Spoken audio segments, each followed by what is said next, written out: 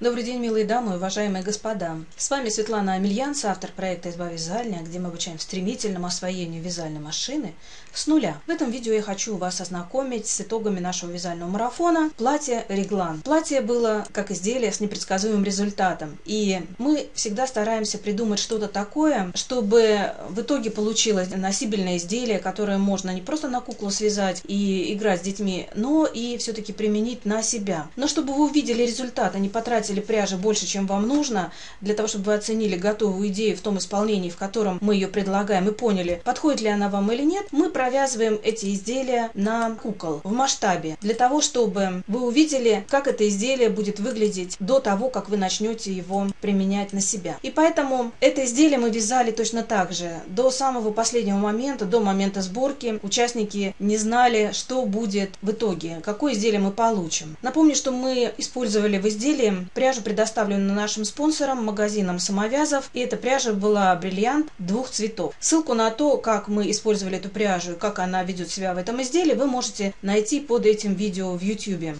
Как обычно, наш вязальный марафон состоял из нескольких этапов, и участники по правилам выкладывают свои работы в альбомы марафона самостоятельно. Как видите, 52 фотографии в первом альбоме. Не все участники доходят до конца. В какой-то момент возникает желание остановиться, потому что непонятно, что мы делаем, для чего мы это делаем. Но все наши марафоны, они таковы. Если вы хотите поиграть, то мы с вами играем в головоломку. Первое задание марафона было связать образец, сфотографировать его и э, вместе с прицельной пробой и на всеобщее обозрение выложить в альбом. Мне очень нравится творческий подход наших участников, которые составляли оригинальные композиции по всем правилам искусства. В втором задании нужно было связать нижнюю часть изделия. Причем мы не говорили, что это нижняя часть, но по наличию резинки наши участницы догадались, куда эта, эта часть будет пристроена. Ну, я думаю, что в следующий раз мы постараемся сделать так, чтобы похоже выглядящее изделие пристраивалось бы на какое-то другое место. Третье задание. Мы вязали спинку и полочки, причем полочки были у нас в расчете на то, что платье будет с запахом, и по этим изделиям было непонятно, где же он реглан. Четвертое задание. Мы вязали уже сам рукав. Но, как видите, рукав абсолютно не выглядел как реглан. Это было, опять же, непонятное изделие, которое, так как мы вязали в маленьком масштабе, то есть не зная, не зная задания, старались предусмотреть, э, что же может получиться. Но все равно получились очень красивые заготовочки, которые дошли до пятого задания. И в пятом задании мы уже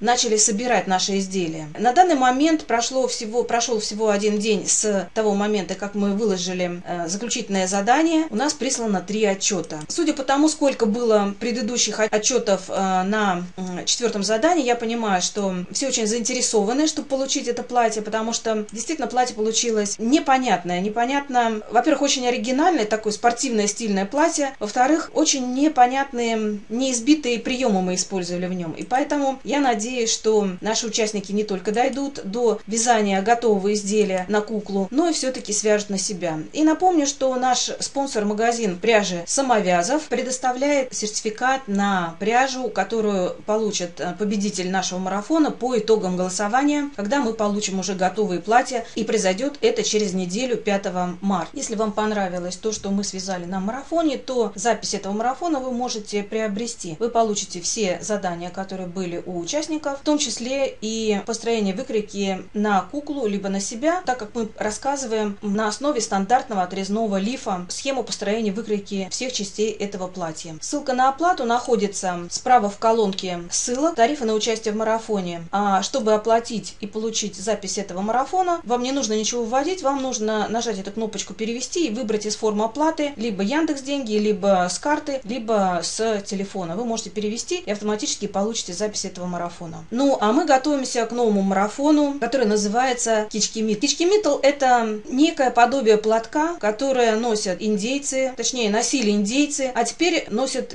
мексиканские женщины. На марафоне мы будем вязать изделия на основе идеи вот этого треугольного платка. И это пока исходные факты того, от чего мы будем отталкиваться. А вот к чему мы придем, узнают только те, кто будет с нами вязать. Ну, результаты, конечно же, увидят все, кто будет следить за этим марафоном. Поэтому вступайте в группу марафона, вы будете видеть отчеты, вы будете видеть, как продвигается наше мероприятие, и вы узнаете, как Кички Миттл послужил идеей для марафона и к чему же мы придем в итоге. Все ссылочки на, все полезные ссылки о том, о чем мы говорили в этом видео, находятся внизу под видео. С вами была Светлана Амельян, соавтор проекта «Изба вязальня», где мы обучаем стремительному освоению вязальной машины с нуля.